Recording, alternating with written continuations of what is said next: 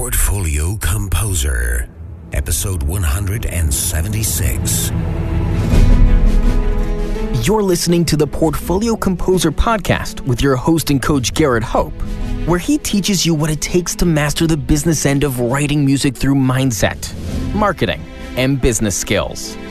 Make sure to sign up for the newsletter at theportfoliocomposer.com for exclusive offers, business insights, and information not shared on the podcast. And now, for this episode of the Portfolio Composer. Hello and welcome to episode 176 of the Portfolio Composer.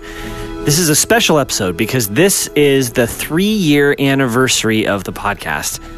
I want to start by giving a heartfelt thank you to all of you who make this possible for listening and for growing with me as we build our composition careers and and for supporting me along the way either as a Patreon sponsor or to bring me in to speak this really is a group endeavor, and I am honored that I've had this opportunity, and I'm looking forward to continuing to serve you uh, by making more podcasts, by doing more things to help you learn what it takes. And I've got lots of plans in the works, so keep your ears open because things are going to be happening. It's going to be pretty exciting.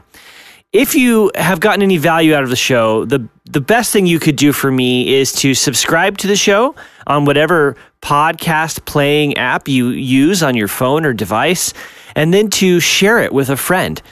And if you want to support me even further, you can become a Patreon sponsor at patreon.com slash portfolio composer. But now on to this episode. So what I've done is I've looked over the last 12 months so this would be February 2017 through January of 2018. And I gathered the data on the most popular episodes. And that means episodes that have been downloaded the most.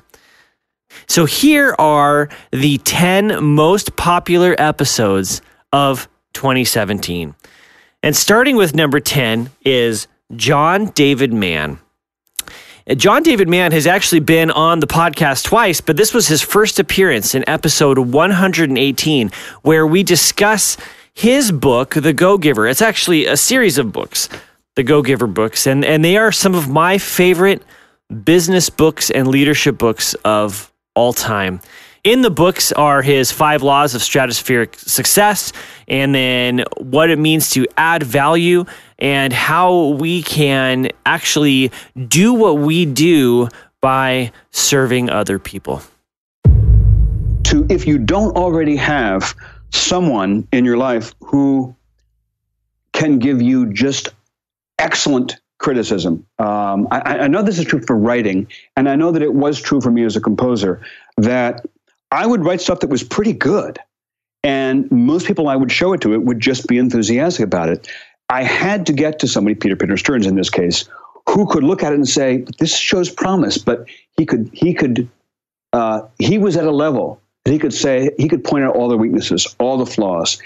Um, to me, one of the possibly the most valuable traits of a successful writer, and this could be a successful composer, successful screenwriter, is being open, genuinely open to, hungry for great criticism and to be you know continually making yourself better and better and better. I studied mm. with a screenwriting teacher in Hollywood, a guy who I really really, really admire, who's had extraordinary su- success in, his, in having his students you know get scripts sold.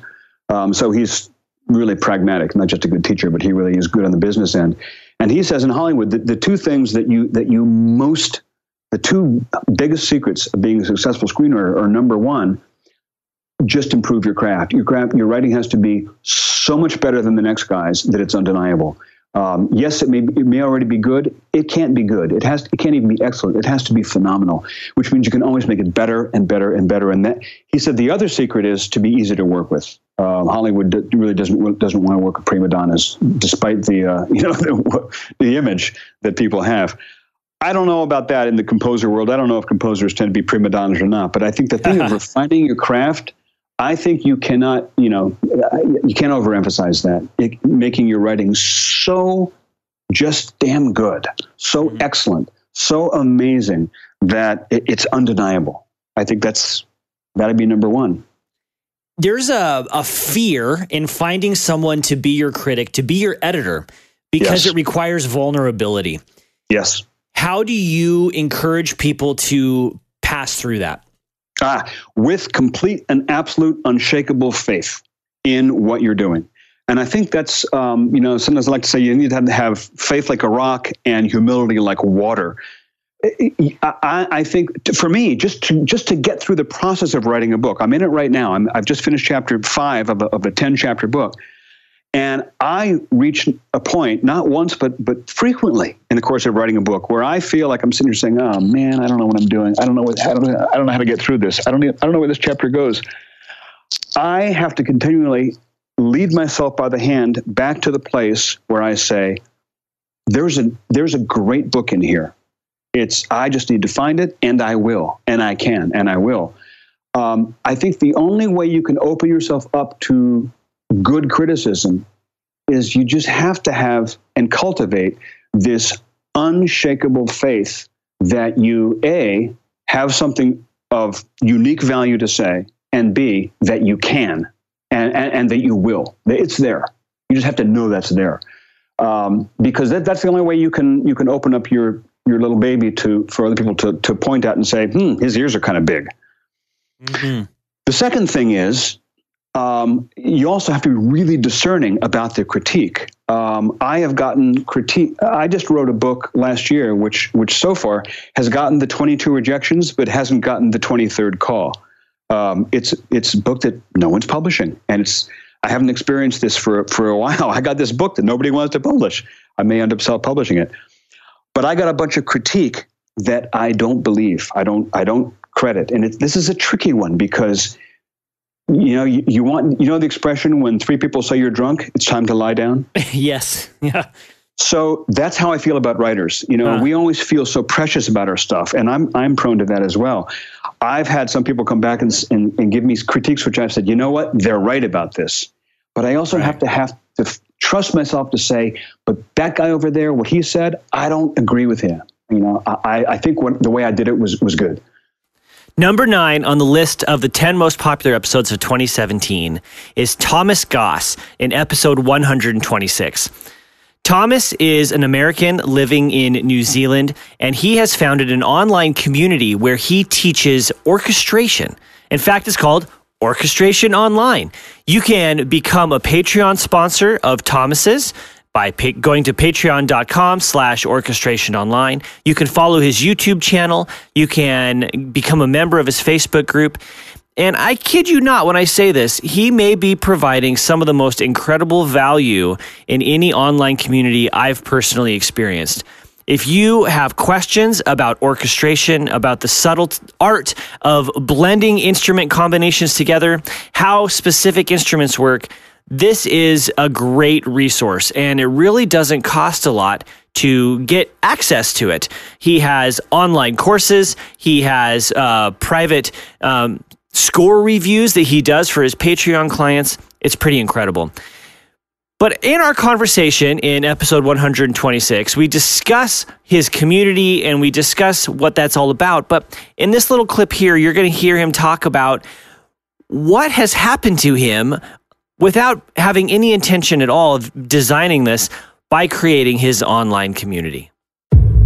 The thing that I least expected to happen was that my content and my presence would become um, would become something of an authority, right? That to the point to where I would have to be careful not to say something because I would be speaking from authority.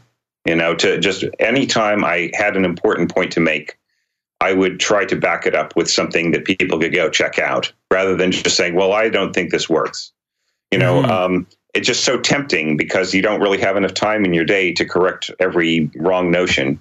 Um, but, you know, after a while, the, something about a culture. You know, every community has got a culture, and every culture has got um, certain approaches to knowledge. And you know, a lot of the times that knowledge is challenged. It's also about you know what dialogue is all about.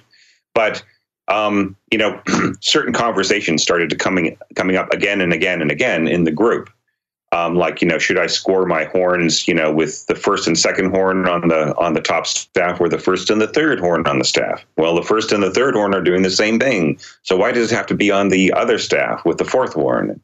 You know, and and so on. Like, so these conversations got to be, you know, it was almost like you know the old Catskills joke, you know, where all these comedians at the Catskills, you know, will just yell out a number of a joke and everybody will laugh. It was that same kind of a thing. Mm. Is that like, oh, well, you know, and we would just go through this huge conversation about it, and then two days later, somebody new would join the group and they'd say, "Hey, um, you know about those horns," um, and everybody would just say, "No, no, shut up."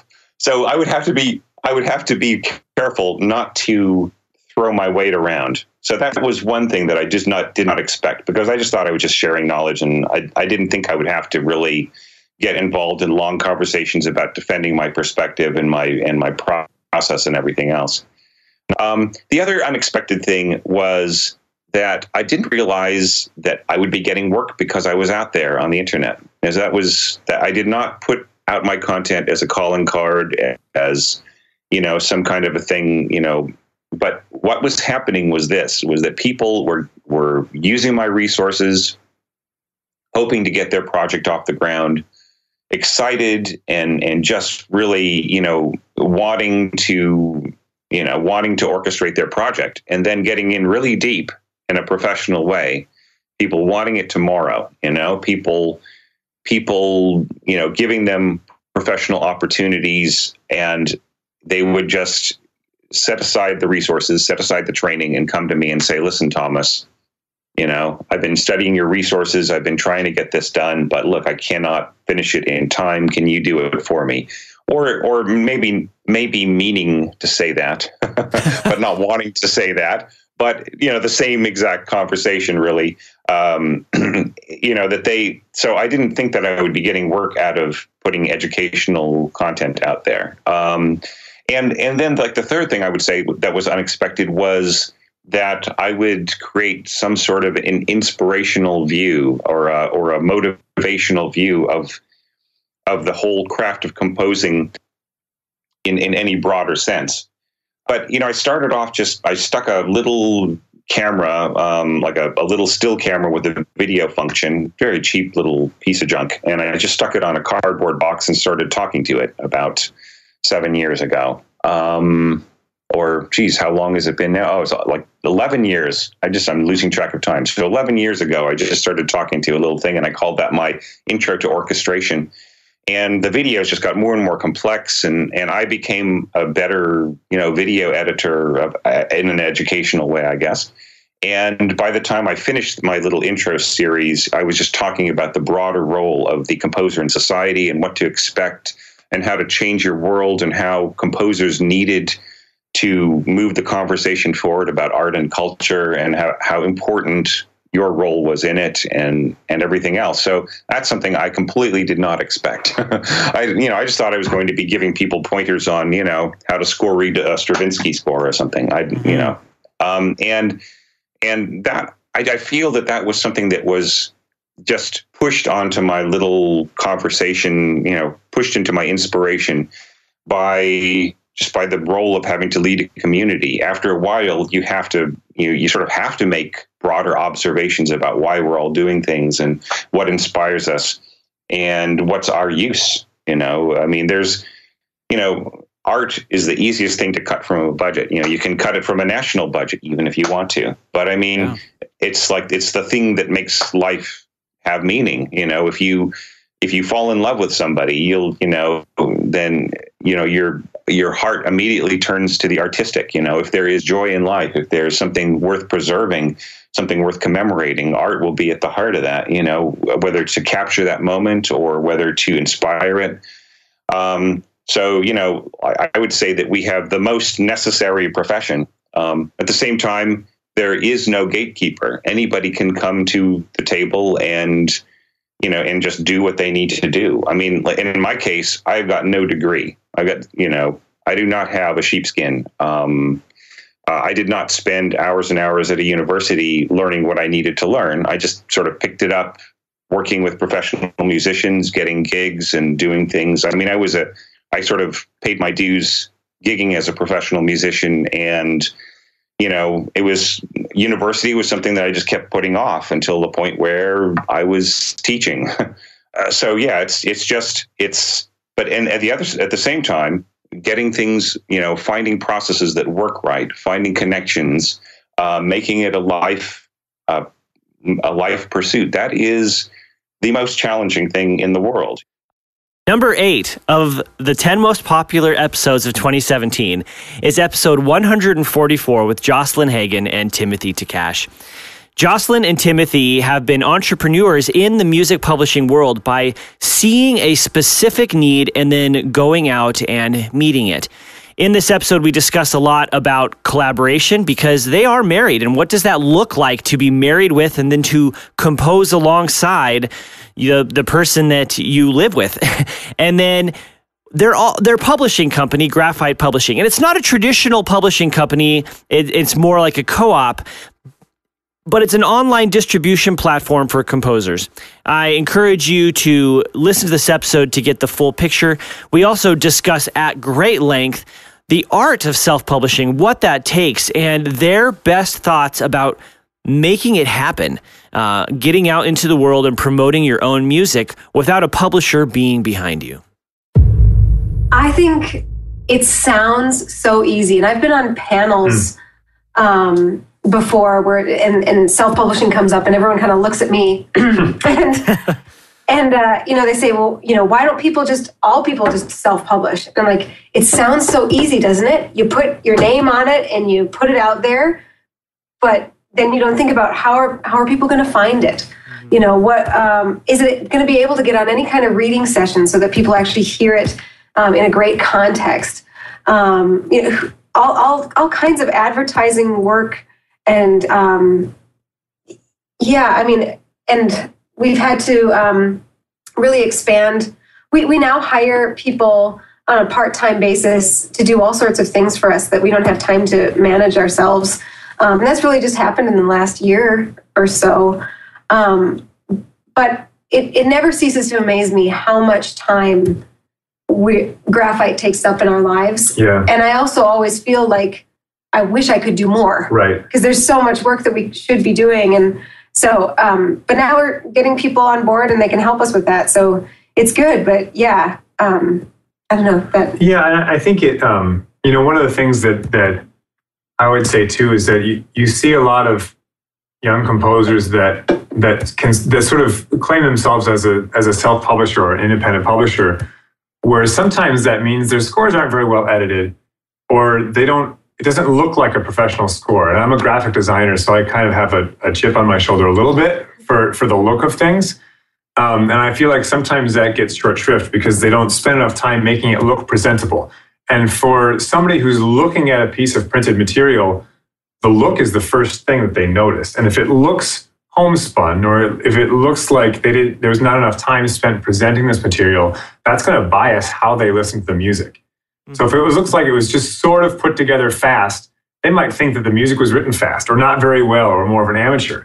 Um, I also think that some people would say that they're a self publisher when they've got PDFs of their scores online, but then there's sort of a back and forth email transaction where somebody has to actually say, Hey, I'm interested in this score. How do I get it? And then there's an email back that says, Well, you just have to let me know how many copies and I'll invoice you. Well, can you do a PO? No, we can't. Well, can you do a credit? No, we can't. So there's this email conversation where that's not as easy for a, customer to do. And it's all of a sudden creating more barriers for somebody to get your music that might otherwise just be sliding their credit card through a, a big distributor like they usually do for their music. Like that's how they usually get it delivered is I've got an account, I got a credit card, I'm just going to pick these six new titles and go. It's work for people to have to discover independently published music. And so reward them by making it easy, not only to find, but to purchase and to get, and that it looks good and they feel proud putting it in somebody's folder. You know, can I, sorry, one more thing to add on that yeah, is, absolutely. that, um, because I said I, I, I talked about how much time it takes, but also how much expense it takes. Uh, the amount of money that we've poured into our company is quite handsome for like um, conventions and oh, the the website, how much that costs to um, create and maintain. We had one piece on Texas All-State one year. That was Tim's piece. It was Salve Regina, and that's what basically bought the new website, mm-hmm. which was really exciting. Um, but yeah, it, it takes lots and lots of money to to do all that as well. And so I think that there are a lot of people that think I'm going to self-publish, I'm going to do this and get started, and they're like, "Wow, I had no idea it was going to be so much work," yeah. and and that that is the truth, and that's that's that's part of why we're here too. Is we want to you know to make it easier on um, on people who wanted something in the middle, um, or just a different kind of model than the traditional model. So it's, really, yeah. Oh, sorry. Oh, that's okay. I, I, didn't mean to talk on top of you, but to, just to kind of encapsulate what you guys have said in the last few minutes is first of all, you have to you have to find a way to get your music in front of the people who want it, which is marketing. Then you need to make sure it looks good because we do judge books by their cover and we judge scores by the quality of the engraving. Yep. And then you have to make it easy for the director and the performer to not only access it, but pay you for it and hear it and listen to it and explore it before that, right? Yep. so that is that kind of the encapsulation of what self-publishing means? Because for you i'll just I think so. I, another thing is and it's and it's tougher when you're when you're younger or starting out or your catalog is smaller but i think you can afford to be uh, picky about which pieces you self-publish and um, in the beginning, maybe you want to have every single thing you've ever written out there available to purchase. And then as time goes by, to be honest with yourself and your work and say, you know what, this piece right here, I've never been too proud of, and it hasn't sold. And that piece might be diluting your presence, whether it's online or an email or whatever. Um, if some, if that's the first piece somebody stumbles upon, which could happen, right, with with search terms and, and clicks and things, is that going to going to lead them deeper into your work or is it going to turn them away? And if you can honestly say, I don't think that's worth having out there, pull it. You know, and it, having one less piece out there with your name on it isn't going to take you down a notch when you're applying for a grant or an award or whatever. But as far as creating your online brand presence, that it, you know, be honest about that so you can keep your brand strong and you can keep your best foot forward. Number seven is episode 139 with Dale Trumbore. Dale has agreed to come on the podcast multiple times with me. She's always a pleasure to speak with. And in this episode, we were discussing the the most recent CD that she had produced and recorded with the Choral Arts Initiative in Southern California called How to Go On. We discussed the marketing strategy that CAI and the conductor Brandon Elliott and Dale had come up with and what their plan was to get this out in front of the world. It's an incredibly valuable for those of us who are trying to get our music, our recorded music, and our printed music into the hands of the people that we want to serve, our audience. So there's a lot of really good pieces of advice here. We also discuss um, social, how to use uh, blogging as a way to raise your platform, and many, many other things it is nice to show, especially in in these moments of of great success, to to show what it actually feels like to get there and what it feels like in the process. And so often, what it feels like in the process is is failure or worrying or things that are not positive emotions. I think um, looking at looking at people winning prizes or getting performances or whatever on Facebook or Instagram or, or Twitter, anything, um, it's easy to imagine like, oh, well, like things are just set for them now. Like, well, they they won that thing, that so they must be ecstatic and like now they're you know like they, they don't have to work for it anymore or something but they but you do like if things things move on and that uh the sort of high of winning an award or whatever that that fades eventually. It's a wonderful feeling and it's fleeting and then you have to go back to work. You have to keep composing and or writing articles or whatever. Like it it's not it's a process. It's all a process not um not a goal for any one specific measure of achievement. And if you don't feel like you're doing good work, then almost nothing else matters. So you have to believe in your own work first. Is that what you're saying?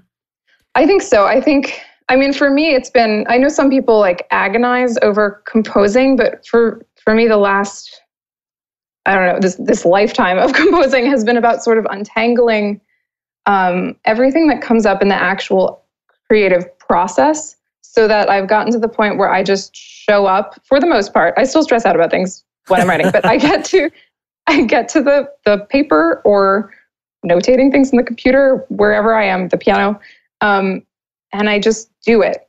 And I've built in room for myself to have bad days, to have days when I don't feel like composing.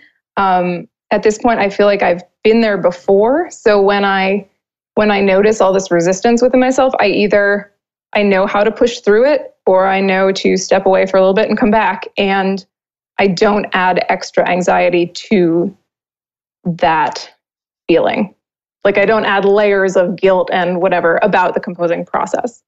Right. And you've actually written on that, especially that new yeah. music box article that you referenced deals with that. Mm-hmm. Mm-hmm.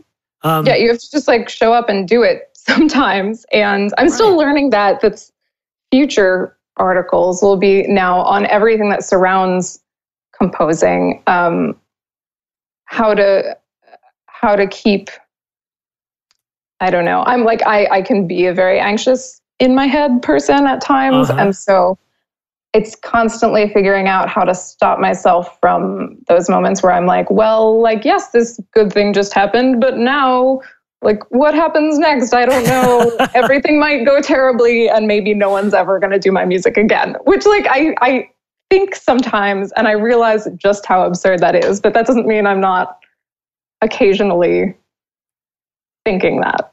Number six in our list of the 10 most popular episodes of 2017 is episode 130 with Ravi Krishnaswami. Ravi is co owner and co founder of Copilot Music, a music production house based in New York City. Ravi has been composing for films and trailers and games for many, many years, and he wrote a series of articles for New Music Box called Stuff I've Learned Writing Music for Advertising. And I was completely blown away by what he was saying and how much I learned and from these articles. So I invited him onto the podcast and we discussed some of these things at length. What it takes to break into the sync music scene. Sync means synchronization. So you're licensing your music out for use in commercial products and trailers and everything else. And really, his thoughts that building a career in music is building relationships because we are in a relationship business and you need to show up and be present and ma- uh, manage your network in a way that deepens and provides value to the people that you're meeting. It's not about you shoving your music or your business card in people's faces. It's about actually becoming friends with people, building real relationships. One thing that I've learned is that building a career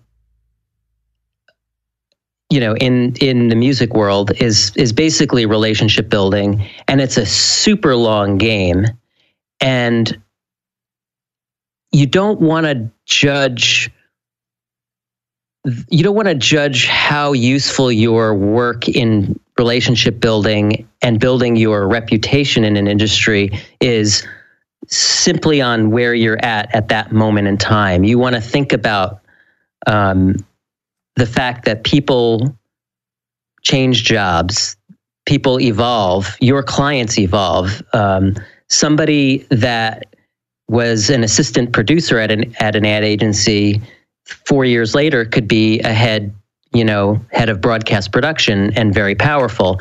And so, one thing that I try to do is, you know, sometimes I don't look at these as networking opportunities where I'm going out and trying to meet people and talk to people. I actually just look at these as opportunities to be seen, mm-hmm. to be regularly seen as part of this industry, because I think that. Um, building your reputation in an industry in, in an industry is really important and uh, somebody might simply see you every year at an award show and you start to become part of the landscape Um, and if you're not there, you're not part of that landscape. But that leads me to another discussion that is, is also a topic you brought up in your new music box articles, because a lot of this um, commercial media work is work for hire, Mm-hmm. which means the person who's paying for the music owns the rights. I think um, if you're looking to to work on jingles at a certain level, the expectation is work for hire. And I think if you're looking to work in games at a certain level, that the expectation is work for hire. But the only time you get pushback is when the budget doesn't reflect what they're getting. And so one of the really big ways that jingles have ev- the jingle industry has evolved in the last five years is that actually a lot of our work is starting to become uh, licensed rather than a work for hire because agencies are cutting their music budgets and so companies like mine say okay well um, you have 50% of what you had last year for this kind of work um, that's fine. We can write it, but instead of giving you a work for hire, we'd like to keep the the uh, the rights long term. We'll license it to you for a certain period of time and a certain territory and media. Uh, so the to, to try to answer your question, the way that I always look at it is is it's simply sort of a it's a you, you know a function of the budget. Um, if they have the money for work for hire, I'm totally happy selling it to them because collecting publishing royalties on advertising work or gaming work is very tricky. And I often call that the pot of gold at the end of the rainbow. Um, so I'd rather be paid up front for the work if I can, if it's a healthy budget, and move on to the next project. Um, I don't feel the need to own that music long term, especially when it's really written specifically with a client's needs and creative ideas, um, and written specifically to a piece of media. I don't feel the need to to hold on to that work if the budget is there. I'd rather have the money up front. I'd rather have a healthy budget and a, and a work for hire than a thin budget and a retaining ownership on something that I have no idea, you know, I can license again. Because then the burden of licensing it, marketing it, tr- following up on um, royalty income is all yours Mm-hmm. then, rather than just receiving a, a lump sum up front. I get it. And and one of the interesting things in the industry is that you know everything is it's funny because everything is sort of cyclical and kind of you know goes back and forth and so the jingle industry has really gotten into licensing rather than work for hire but then you start to see um, the headaches that they have to deal with when uh, they've licensed something, but all of a sudden their usage needs change. They want to run it internationally or run it on broadcast, and they had only licensed it for um, internet usage. And so they, in some ways, they're they've put themselves in the position where they're starting to learn the value of work for hire in practice again. Like you know, they keep they kept cutting their budgets and cutting their budgets, and so we pulled the work for hire off the table and started carving out smaller and smaller licenses. And now they're starting to say, "Oh, here's the value. Once we have it, we can do whatever we want with it." Um, it it's um, you know, there's a there's a real value to that freedom for them that that they're now um, appreciating that they didn't appreciate a while back. Oh, I'm sure. I mean, you even say this in the very first article that one good sync deal can make your year. Sure. And so, like, it- it's in your benefit as the composer to maintain the rights, despite all the management issues, but it's in their benefit to do the work for hire, especially as they expand their advertising campaign or whatever, like you just said. Right. And I think, you know, again, I think the rules are really different for music that you're writing specific to media based on a creative brief that they're handing you and your own music. And and I I would certainly um, advise, you know, composers who are looking to build a career to, to retain ownership of their own music because that's that's your um, that's your opportunity to get that one big license and and the pricing for a license for an artist that has um, you know a footprint in the industry or a reputation or a certain amount of followers um, is very different than the price that we even get for a work for hire. Um, so it could be, you know, it could be a lot more money to to to simply license for a year a song from an artist that's well known versus owning a piece of music that I'm writing for them as a work for hire. So I think the rules are different, you know, depending on on with, whether you're coming to it from a licensing and sync uh, perspective or coming from it coming to it from an original composition perspective. Number five on the list of the 10 most popular episodes of 2017 is episode 127 with the incredible Scott Tegge. Scott Tegge is the tubist of the Gaudete Brass Quintet based in Chicago. And I first encountered Scott at the Midwest Clinic in 2016. And we quickly became friends. He's an incredible individual. And the next time I was in Chicago, he invited me over to his apartment where we recorded this interview.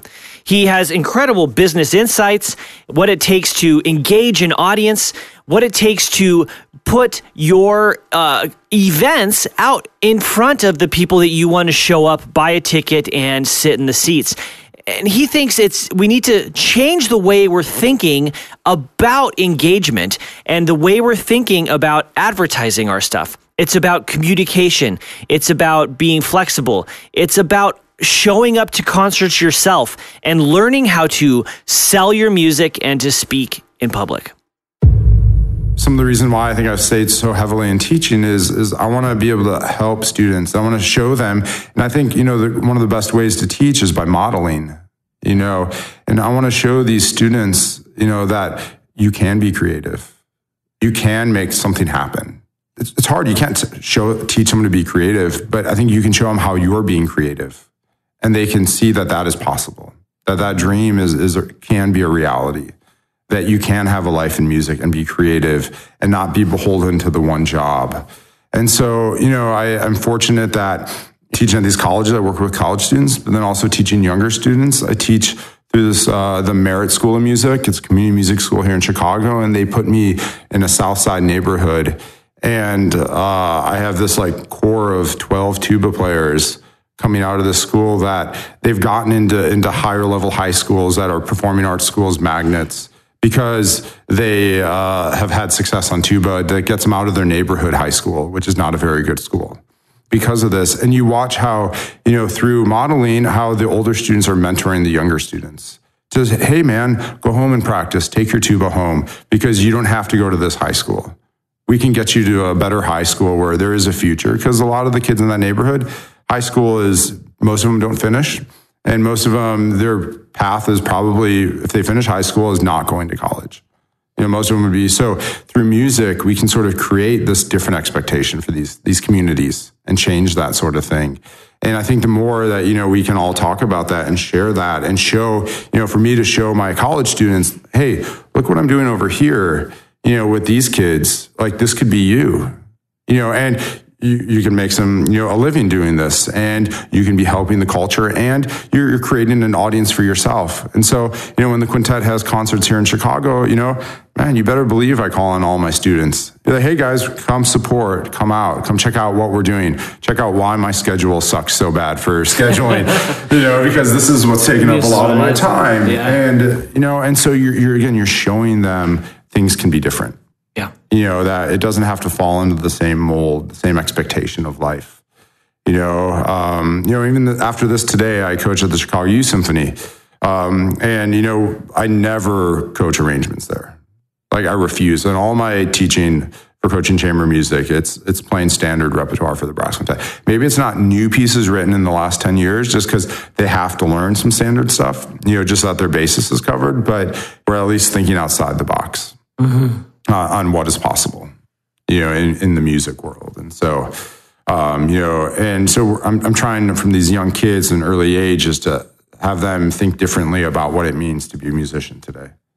You know, What is one thing that you think? I mean, maybe it's all tied into what you're saying about changing uh, the, the culture, helping kids experience new things that composers can do today to drive their career forward?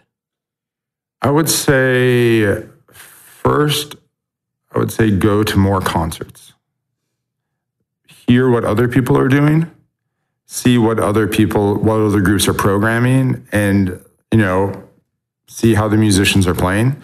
I think we're all busy, or levels of busy. Um, and it's really easy, even as a musician, to like, you know, I do music all day. Some there's some nights where I'm just tired.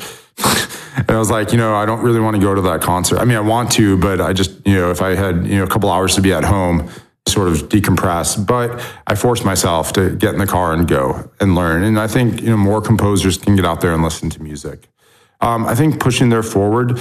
Uh, I'm generally uh, a passive person when it comes to life, just general life. Um, in my music career, I'm pretty aggressive.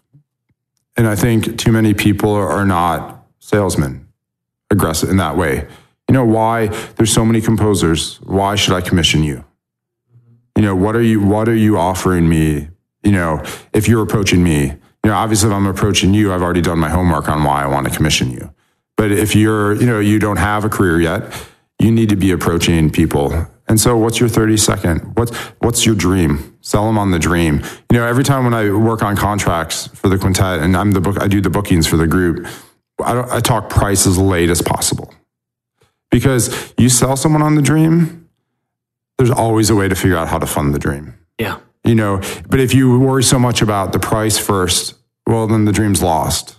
You know, and so, what is this? You know, maybe you have a, a composer approached us a couple years ago, and it hasn't come through yet, but we keep talking about a brass quintet and piano work. And he brought this to us, and we applied for some grants together because he seemed so passionate about this. Like we weren't seeking out this piece at all, because you know, for us to even, I mean, the collaboration would be great, but we can't really tour with a sixth member. It gets a lot more challenging you know, to do that. But he was so passionate about this dream. So we started applying for grants and then none of them have come through. So we, you know, loosely looking for some other funding, but he wants to just write this piece. And so he's going to start writing and we're going to go along and see what we can do. You know, maybe we can, if we can't fund the piece, he's a pianist and he wants to play the piano part you know, maybe we can find a concert series to present the premiere and we can give him, you know, sort of most of the concert fee you know, as an opportunity. Maybe that's a way or a larger cut of it to pay him for his time. And, you know, potentially then maybe we can record it with him and have a sort of a professional level recording of this piece. So I think sell people on the dream and, know what that dream is and be able to vocalize the dream. I think so many musicians, we can't vocalize what happens upstairs or what we feel inside. You know, it's like, oh, I, I just love this. Well, you got to tell someone why you love it. Yeah. You know, oh, I love this, this, and this you know, and then people can, you know, especially who are not in music, who maybe, you know, want to fund something, you know, they need those specifics. Number four of our 10 most popular episodes of 2017 is episode 133 with Jeff Rona. And this was part two of a two part interview that I did with Jeff. In March of 2017, I had the opportunity to fly out to LA to work with some schools that were part of a consortium that had commissioned me to write some band music. So while I was in LA, I took advantage of the time to have a couple uh, mind blowing interviews, and Jeff was one of them. He invited me into his composition studio, and we sat down for over two hours and recorded this conversation, which I then broke up into two episodes. Jeff has written a, book on what it takes to score films and t- television called The Reel World. I highly, highly recommend it. He's scored multiple games and movies, and he's actually got his own production companies. He's created his own sample libraries and virtual instruments. He's really got it all. He's doing everything. We discussed the difference between composing versus producing, getting your you're the team around you that's going to help you do it. What it takes to market yourself as a composer and why you really shouldn't be out there trying to please everybody. That's not going to serve anyone in the end. film music isn't pop music. Film music isn't classical music. Film music isn't jazz music. Film music is film music, even though it isn't a genre or style. It's an approach, it's an attitude. And that's a lot of where open mindedness comes in. You have to be willing to be experimental with every part of your being. You have to be willing to try things and fail, both both in your in your work life as well as in the act the music itself. You have to be willing to admit when you're wrong. You have to be willing to try new things. You have to be willing to hear something that somebody else has done and go, "Well, I never would have thought of that, but that's bloody awesome and I'm going to see if I can do my version of that." So somebody does something that's just wickedly cool and people notice and you think, well, how can I make that? How can I own that? So it's not exactly ripping off, but it's being inspired by your whole world. It means not not determining that I'm only this and I'm only that. I've certainly met composers who said, I only want to write orchestral music. I only want to write like John Williams. I only want to write this. I only want to write that. Guaranteed failure. Not because you've limited yourself to 1% of the projects out there, but because you've exhibited closed mindedness. And the minute you do that, you're useless. You're useless as an artist, you're useless as a collaborator, and you're useless in terms of what your next three projects are going to be. I think that's awesome advice. It's not advice, it's just an attitude. Yeah, but if because if I wouldn't begin to know that, how to tell. How do you tell somebody to be open minded? I can say well, be open minded. open-minded. okay, now what? it's hard. It's hard Yeah. because of course we have opinions. And opinions are organic, you know. You take a bite of something that, and you go, "Look, this is disgusting." Mm-hmm. Did you make? it Was is that closed-mindedness? I have certain members of my family who might say yes. Well, Yeah. we, you know, look, I believe that part of my of who I am as a composer is that I'm not only a creator, but I'm also a filter. And that filtration system is that I determine if something is good or not by my standards. Yes. I get it right and I also get it wrong. But it's vital, vital for me to make decisions about good, not good, and anything in between.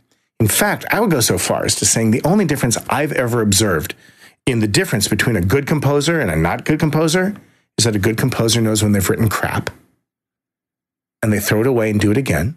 And a bad composer says, Yay, look what I just did.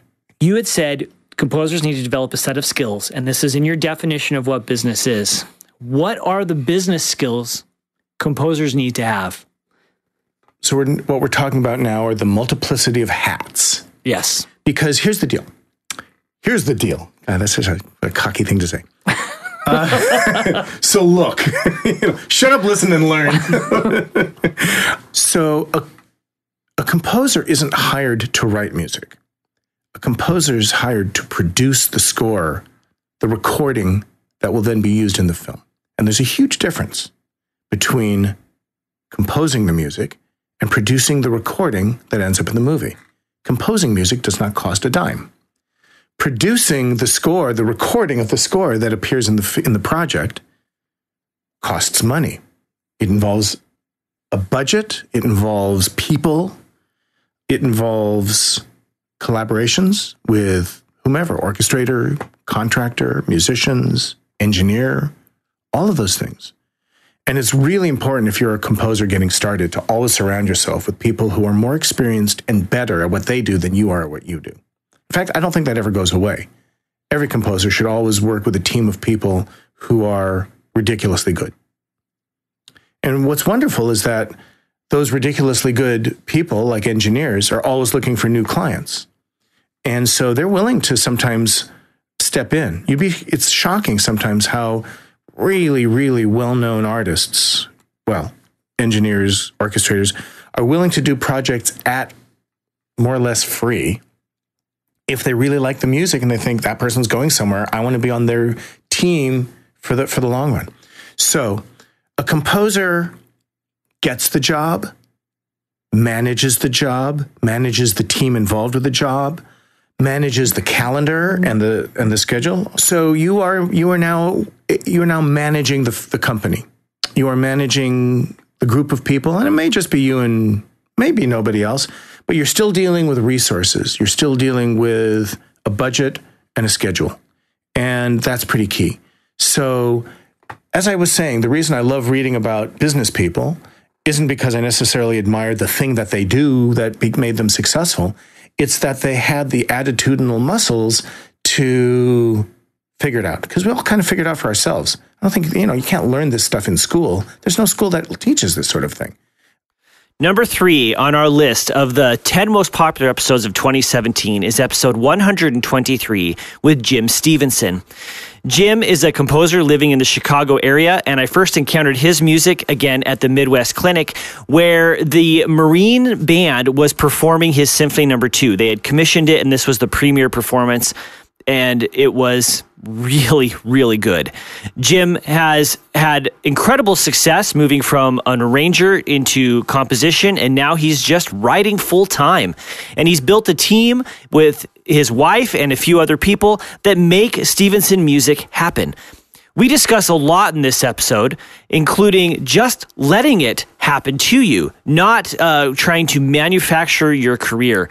But you have to be self critical, you have to be patient, you have to keep the door open for all possibilities.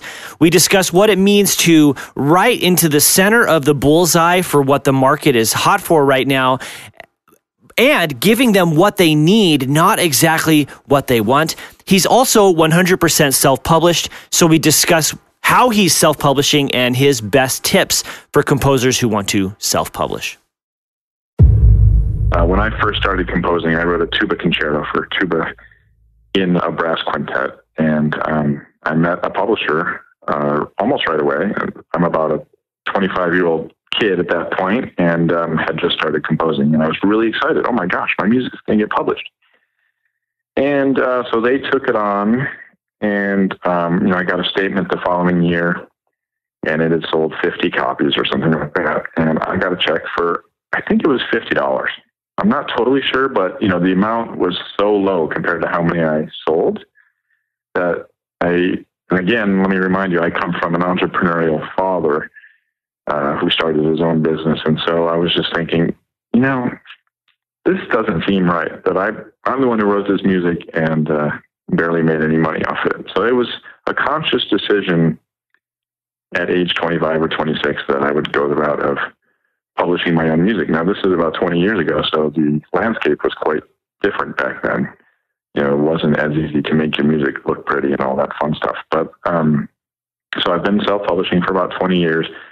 I will say that um, as far as the marketing goes, I am still very much an organic marketer. And what I mean by that is I kind of think of somebody who should know about my music uh, um, and I let them know. You know, this maybe happens 10 times a day. I think, oh, I, I need to let this conductor know about my music. Bam, send an email. Uh, I need to, oh, yeah, I had a friend who was looking for a new trumpet concerto or something. I wonder if we should try to work together. Bam, send an email. Um, I have tried, especially when I started out, I did some of the mass marketing, you know, email blast kind of thing. And I don't really keep up with that too much. I'll send something out maybe once every three or four months. But I have found number one, I don't like doing that uh, because I don't feel it's very personal. And I'd like to consider myself a, a, rather personal guy. I like meeting people. I like people, as I've already said. So sending a, a mass email just doesn't feel like me, so I don't do that too often. Um, and secondly, I don't really feel like I've gotten a ton of response from that. So my goal is usually just to send the 10 communications a day or a week or something like that that are directed at people I know and people who I already know would be interested in what I have to offer rather than just hoping that they might be. And when you send these, I, am assuming they're mostly emails, you are trying to highlight a specific piece, not just go browse my website. It's more, hey, I just finished this thing, or you would you consider doing X or Y on your next season? I mean, how do you frame it? Or maybe it's totally different.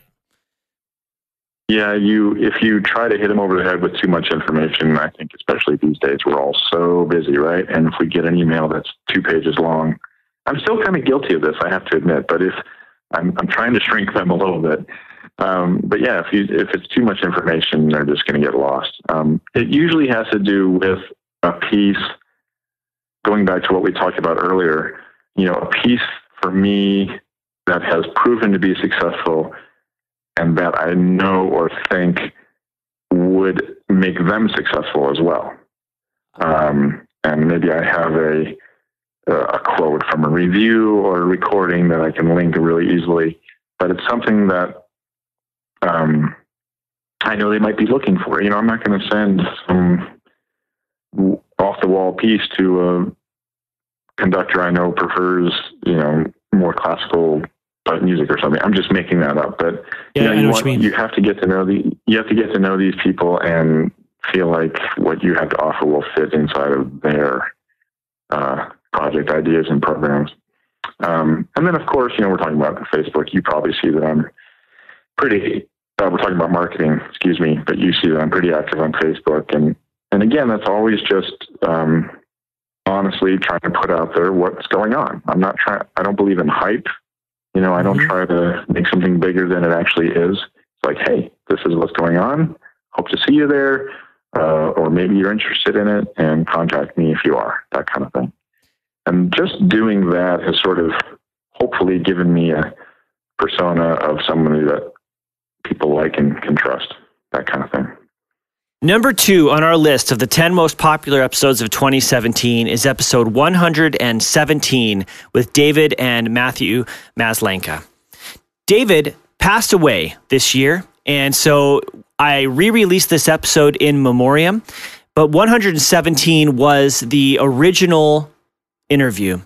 In this interview, David tells us how he moved from teaching academically, building his career, and making the decision to become a full time composer. How he got to choose where he wants to live so that he can have the lifestyle he wants to have. And since his son Matthew runs the business of Maslanka Press, we discussed the business end of his music.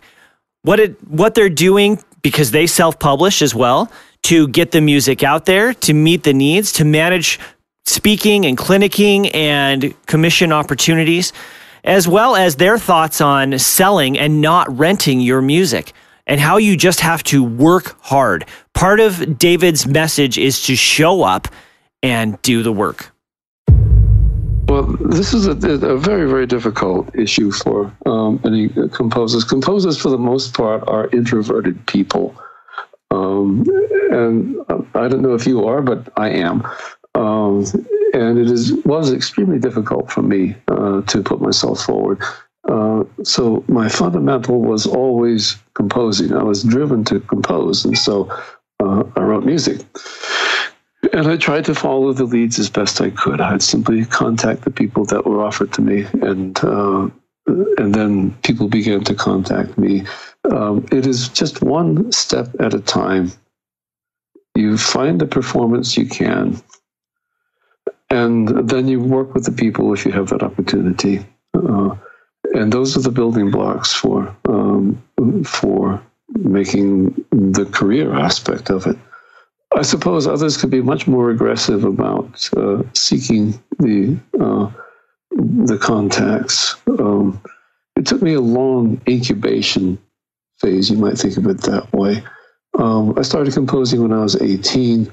Uh, the Child's Garden of Dreams piece was written 20 years later, and that was essentially my breakthrough piece uh, for Winds. Uh, and you know, it had successes with other music, uh, but individual performances, no grand success as such. Um, and it just simply took that long. It's been a continuous, slow movement of accumulation. And I can say that if you make the beginning efforts to get performances, and if your music is any good, first off, if your music has something and that people do, do respond to it, then it begins to open, however gradually. You know, a single performance might happen, like you had your first uh, performance and you had your prize, and you said, "Well, the heavens have opened." Well, that fire went out pretty quick. yes, it did. yeah, and so you have to realize that the fire goes out. And you say, "Oh," and then you try another and another and another. And if you continue enough, then some burning embers start to glow, and eventually some smoke forms, and then eventually a small flame happens that doesn't go out. Um, but this is a long haul. You know, I've been at this for oh god, I've been writing music for fifty-five years. Yeah? there were the moments in which without my seeming to have done anything, there was a sort of an exponential advance in the number of performances, and then it would advance again and again and again. And so, success is about persistence at that basic level of um, writing good music. That's the start. You can't get away from that. Uh, and then a bit at a time, having people respond to it, and then that collects. But if you're persistent, things- yeah, like honestly, it's it's about persistence, uh, about who you are. So I think maybe my best quality as a as a as a uh, musician and as a composer is simply persistence. Yeah. Uh, So uh, you're talking about persistence here. It's not just about uh, going after the next commission or you know making sure your networks know who you are, but it also comes into the music as well. Uh, s- another one of the things that you keep on saying is about how a lot of works get to the hard part and then stop. Yeah. Um, and I think one of the things that people respond to most strongly about your music is that you get to the hard part and then you figure out the hard part and you go on. Yeah. Um, and that's what we all look for in, in, in art. It's like, how do we, how do we deal with this stuff? Number one on our list of the 10 most popular episodes of 2017 is episode 132, which is part one of Jeff Rona's interview. But before I tell you a little bit more about this episode, I want to remind you that you can support the podcast by subscribing to the podcast in whatever podcast playing app you are using and to support the show on Patreon. $1 a month is all I'm asking for, and it'll allow me to do more by hiring an editor to outsource this work so I can do more content creation for you, so I can create the material that is going to help you as you build your career, no matter what kind of composer you are. So, in episode 132, the first part of this interview, we discussed Jeff's studio, his uh, virtual instrument company, Wide Blue Sound, what it means to brand yourself, creating opportunities, and the three reasons to say yes to any film. I also had the opportunity to ask Jeff about the trends happening in content creation now, including streaming services like Netflix and Amazon Prime, and how the industry is moving forward.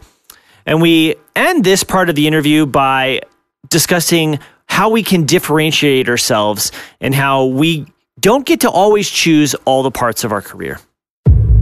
The fact is is it's harder and harder to be it's harder and harder to make a decent living as a film composer strictly. And you're the one you know if your entire portfolio is just uh, feature films that's hard. Because if you're breaking in you are doing small films. And if you are doing small films you're lucky to get a budget that even covers your expenses. And by the way you should do those films. You should do movies even if it means losing a little bit if it means building up a few credits because those credits will be useful. And the relationships you build along the way too. well at times well let's say that there are three reasons to say yes to a film. Let's say that there are three re- reasons to say yes to anything. And the reasons are? Number one they're going to write you a good a good check and you'll be able to pay rent and you know upgrade to the really good cheese or whatever. Money do a movie because they're going to pay you and it's lovely to get paid to do something you would do for free number two is well the money's not so good but this is a really good project this is a this is a this has some prestige i would it would mean a lot to me to have my name attached to this film because I think it has a good shot of getting some success, even if it's in the festival circuit. But my name's going to get out there attached to a really good film. The third reason is well, doesn't pay. It's not even a particularly good film, but these filmmakers actually seem like they're they're really ambitious. They're really going places. They, you know, they've either done something notable or have plans to do something notable. And then it's just about one thing, which is building a relationship. If you're willing to sweat blood to score a project for no other reason than to build a relationship with a, a person who you speculatively think will go on to do bigger and better with actual paydays and they might be loyal it's it's it's risky. Well all three are risky. Well the money one isn't risky because as long as the check clears you're in good shape. But that's not a good reason to be i mean you can't be in it for the money before other things. Anybody who thinks that they're going to become a film composer because they're going to be able to afford a nice house and play golf every day that's not likely. It's just not likely. And I think that seems to be a theme of this of this show that you do. Mm-hmm. It's a good attitude to say, I'm gonna I'm gonna really work hard at pursuing this career because I love it, or I think I would. I mean, obviously, if you haven't done it before, you might be unpleasantly surprised that it's not fun, or it's not fulfilling, or it's not you're not cut out for it. You know, you're just not that good a writer, or you're the style that you're good at isn't a style that's particularly in vogue at the moment, and that's something we could talk about some more. You know, what makes a useful composer? You know, what makes it desirable, not useful. Useful is you show up and you finish. um, but if you come at it from, at first anyway, strictly from a monetary perspective of I'm going to write a score and I'm going to get an agent, and that agent's going to hand me, you know, say, good news, we got you double the money on this project as the last project. You're going to be you're going to be upset. You're going to be disappointed. You're going to be you're going to be disillusioned. I think there are you know there are some people who hit it out of the ballpark. It's not very often. You know, we like with any field. You know, somebody who's never acted before and then they star in a movie that becomes a huge hit, and all of a sudden their life is on fire. That's great. You know? As you probably well know, some people spend years and years and years to become an overnight sensation. Yes. They fly under the radar and they fly under the radar and they stick with it through good and bad and bad and worse. And then suddenly one day the stars align, the planets align, and something good happens. And then you're the guy they want. I think the For phrase now. is 10 years to overnight success? I can't even begin to think that one should put a number on it. Well, that's just you know, the question might be usage. Yeah, the question you you might ask yourself as a as a artist getting started in a in a very unreliable field is how long are you willing to try before you uh, decide to step out? Mm-hmm. You know, for which I have no answer. I don't have any other marketable skills of any kind. So, you know, if I get clobbered over the head, I'll just come back the next day and get clobbered again. Once again, thank you so much for being a listener of this podcast. I really do create this for you. I've got enough episodes in the can to get us through half of the year already. So, subscribe to the podcast, and these will be delivered to your phone automatically. Become a Patreon sponsor and help me do this in an even bigger scale.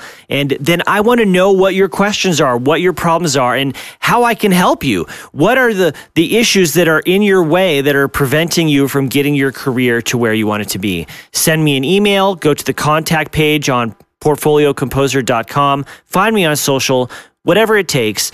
Let me know how I can help you.